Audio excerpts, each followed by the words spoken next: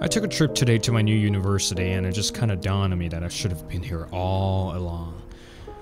I applied for a transfer a few months ago at my old university, which at the time was a pretty good option. See, then I had two jobs that kept me away from applying to this new university.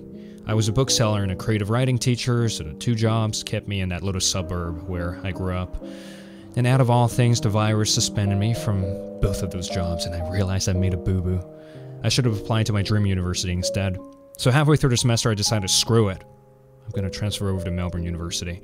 The paperwork was tedious, but I got through it and left without a trace. The tram stopped, and the minute that I saw the old architecture, I knew I was at the right place. I checked where all my classes were and sat down on a bench for a bit. A man came up to me and asked me where a certain building was, and I told him, Sorry, I'm also new here. He smiled and said that's alright and left me alone.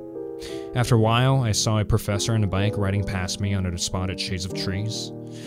I walked around the old arts building for a bit and realized that was it. I'd be studying here for the next few years and it felt just right.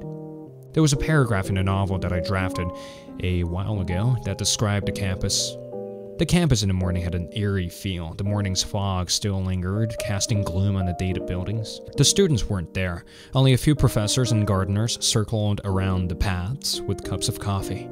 After sitting on a bench for a while with my notebook, I had made my way to Roger's office. When trailing through the empty corridors with old pictures alongside the walls, a strange calm took over me. My steps slowed and I became aware of the space. The building had been there for more than 150 years. It's hard to imagine those in black and white photos were once, perhaps just like us. They walked through the same corridors and thought similar thoughts. Maybe the past just isn't dead. The past is now. We're living history with modern clothes. It was a decent effort, but I'm sure as the semester goes on, I'll probably end up with more stories to tell about this place.